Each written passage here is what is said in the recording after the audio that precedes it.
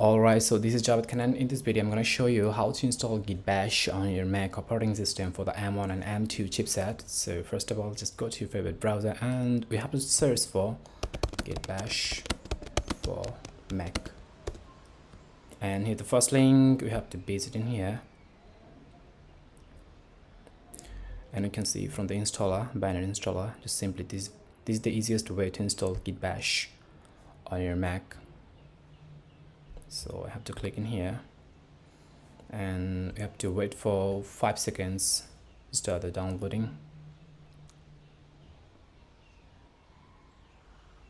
Well so I have to navigate where I'm gonna install the file. So in here download save.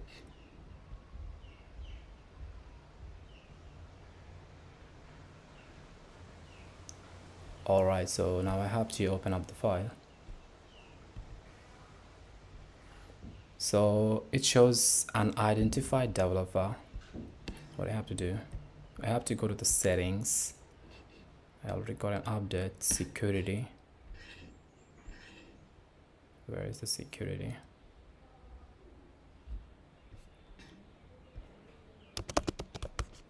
Security and settings. Here you can see the file. Yeah this is the file. We have to open up anyway. Use the password. I'm gonna use my finger fingerprint. Now we can install in here.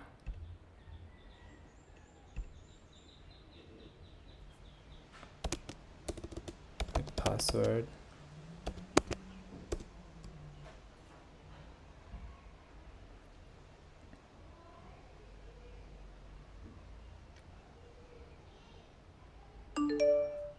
okay all right we're done. Now we have to open up our terminal. Um, new file. So we have to change these things. Just go to the terminal settings and we have to open up the bash.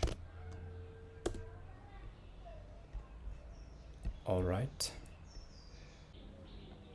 Alright, so we just have to type git and press enter button and uh, if we see this message in here, so that means you're ready to use git bash on our Mac operating system and that's all for today in this video.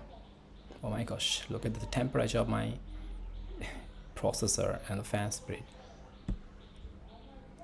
Oh my god. Just because I'm using iMovie for editing. Anyways, that's all for today. Thank you so much.